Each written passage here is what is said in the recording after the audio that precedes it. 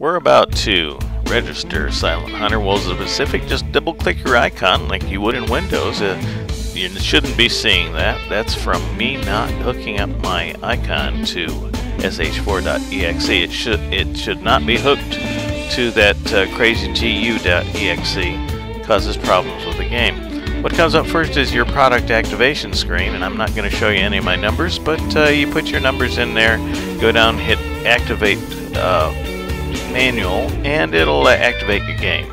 As soon as that happens, exit the game. Do not play it.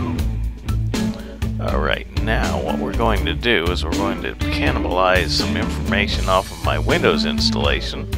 But first we're going to see where uh, this game is installed. Uh, enable hidden files, go to Wine, Drive C, Program files x86, and all the way down there, there's Ubisoft right there, Silent Hunter Wolves of the Pacific.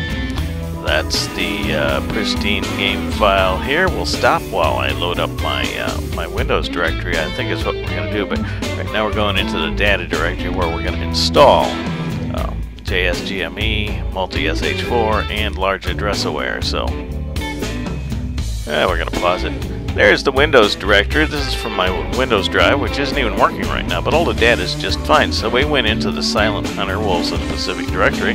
We're looking for JSGME stuff. There's three of them there. Jonesoft text. Don't forget that. Come on, click on it. Click. Stupid. Okay, let's, uh, yeah, let's get that one. There's large address aware right down there. Down, down, down, down. Gotta coach this guy or he doesn't do what he's supposed to do. And then finally, what we're looking for is multi-sh4.exe and the HCM file there for. And we'll do a little scan and see what else we can find. There's all the screenshots from my Windows version. Isn't that cool? And they're wasting time here in the video. Why not? All the stuff in my Windows installation is just sitting there waiting to be cannibalized. So we just grab all that stuff now and what we're going to do is we're just going to drag those right out of Windows and drop them into Ubuntu. Let's do that right now. First we'll get inside the directory, I think. Nope, nope, nope. Gonna drop it on a directory. Okay, drop all that stuff on there. What I'm doing right now is hitting the shift and alternate and uh, control keys to make sure that I'm copying it instead of moving it. And do the quick scan. Hey, there's multi-SH4 right there. We just missed it. There's that stupid GU, GU.exe. Certainly don't need that.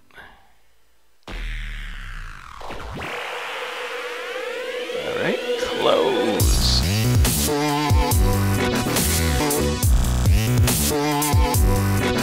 Now, we're going to create a new folder called SH4 Pristine. Why? Because this thing's going to be locked up tighter than Fort Knox, and we're going to copy everything from Silent Hunter Wolves of the Pacific into that brand new directory. We've got everything we need to run the game already in Silent Hunter Wolves of the Pacific, so here's where we go. We're going to go here, Control A to copy it all. Seems mighty familiar. Control, uh, okay. Uh, co uh, copy to. Come on, copy. Okay so many ways to do this. Now paste. Now we are filling it up with how many thousand files? 20,057 files to SH4 Pristine. Now this directory is not going to be a directory we ever play the game out of, so we want to make sure we protect this thing. We don't want to be able to write to any of these files. We don't want to be able to delete them. With Ubuntu, there's a way to protect them from being deleted, which isn't present in Windows.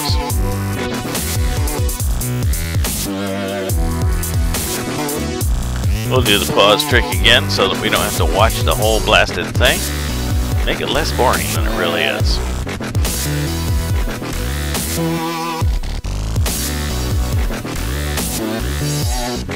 Pause. See, you can't see me read. Restart it because it's paused while I'm restarting it all the way to the end. Seven seconds. One second. And there all the files are. Isn't that cute? Now we have a separate directory which has all the files that you need to play the game.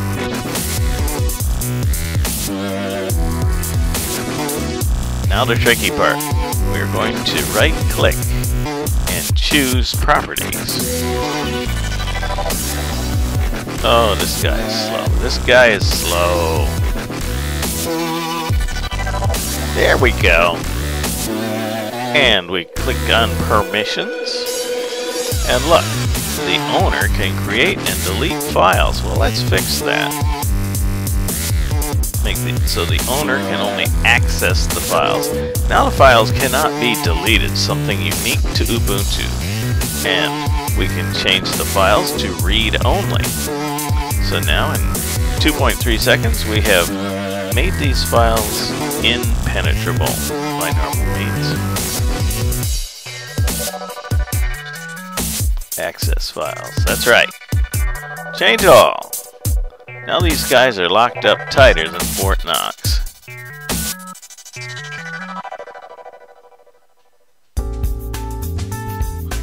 Yeah, don't share the folder. That's right, don't do that. Looking good, looking good. Now in Ubuntu, you don't hit an actuate button or a go button. Once you do it, it's just changed. See the lock on the icon up there? We're going to just verify that all this has been done. Look, it's all just, everybody can only access it. They cannot delete it. They could not write to it. That is now a protected directory.